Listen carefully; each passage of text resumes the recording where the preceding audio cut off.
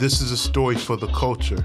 All of my family traditions are centered around food in my household. My mom's from Sierra Leone, and so she made a lot of really yummy, spicy curries that were served over rice. I think potato leaf is my number one. It's been my number one, actually, especially with the lima beans. Mm. This is a story for you. I used to eat a lot of junk food, so a lot of uh, chips and candy. Fast food chains, they have the ability to market to masses of people, and I feel like they could do a better job as far as marketing about the health benefits of food, rather than selling it to the public for money. This is a story for the neighborhood.